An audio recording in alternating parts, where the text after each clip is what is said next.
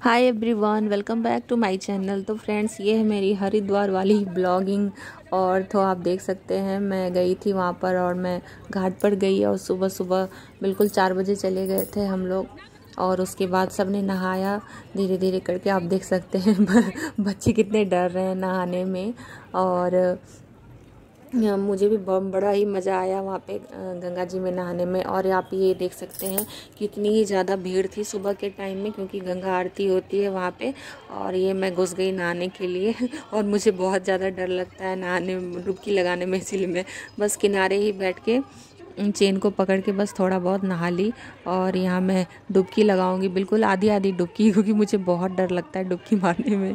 और आप देख सकते हैं मुझे, मैं कैसे डुबकी लगा रही हूँ। बिल्कुल आधी आधी डुबकी। तो मज़ा भी बहुत आया, बिल्कुल ठंडा पानी होता और सुबह का टाइम था तो पानी बिल्कुल ही ठंडा था।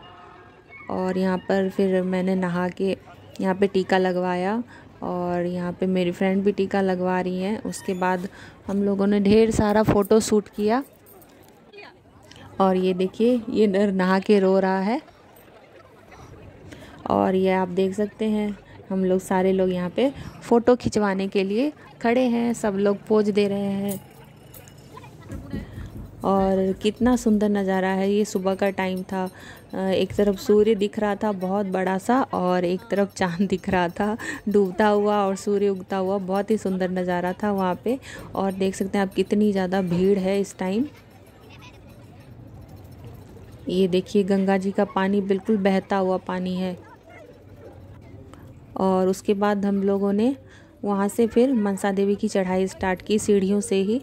और आप देख सकते हैं, ऊपर से मनसा देवी थोड़ा ऊंचाई पर है, पहाड़ों पर है, ऊपर से ये नीचे का नज़ारा था और यहाँ पे हम लोगों ने प्रसाद ख़रीदा और मेरी तो हालत ख़राब हो गई थी चढ़ चढ़ के पैर में दर्द हो गया था बिल्कुल और यहाँ भी ऊपर भी बहुत ज़्यादा भीड़ थी तो हम लोग यहाँ पे देखिए मंदिर के अंदर घुसने वाले। मंदिर के अंदर मैं वीडियो नहीं बना पाई क्योंकि तो बहुत ज़्यादा भीड़ थी। उसके बाद हम लोग मंदिर से बाहर निकल कर एक छोटा सा पहाड़ था, उस पर चढ़ गए। सब लोगों ने फ़ोटो खिंचवाया और नीचे देख सकते हैं आप कितनी गहरी खाई है। यहाँ पे हम लोगों ने बहुत सारे फ़ोटो खिंचवाए और ये देखिए मंदिर है मनसा देवी का। उसके बाद हम लोग फ़ोटो खिंचवा के सीधे नीचे आने लग गए और सभी यहाँ पे अपनी थकान दूर कर रहे हैं और हम लोग इस टाइम अब नीचे उतर रहे हैं हाँ। और उसके बाद हम लोग नीचे जाके और फिर हम लोग रूम पे गए वहाँ से फिर सामान रख के फिर हम लोग होटल चले गए खाना खाने के लिए। खाना खा के उसके बाद हम लोग निकल गए ऋषिकेश के लिए। ऋषिकेश वहाँ से एक घंटे की दूरी पर थी तो हम लोग निकल लिए ऑटो करके। और ये देखिए ये हरिद्वार से हम लोग निकल रहे हैं बाहर और गंगा जी का नज़ारा इतना सुंदर दिखता है। ये ऋषिकेश का जानकी झूला है। लक्ष्मण झूला बंद है और ये जानकी झूला है। जहाँ पे हम लोग बस जानकी झूला तक ही गए थे क्योंकि हम बहुत ज़्यादा थक गए थे। क्योंकि बहुत तेज़ धूप थी। दोपहर का टाइम था और ट्रैफ़िक भी बहुत ज़्यादा। ये आप देख सकते हैं, ये ऋषिकेश का गंगा की गंगा जी है। और ये गंगा गंगा किनारे में हम लोगों ने थोड़ा सा आराम किया।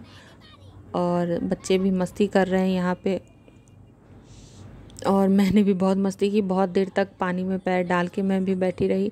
तब जाके थोड़ा मन अच्छा हुआ क्योंकि बहुत ज़्यादा थक गए थे हम लोग।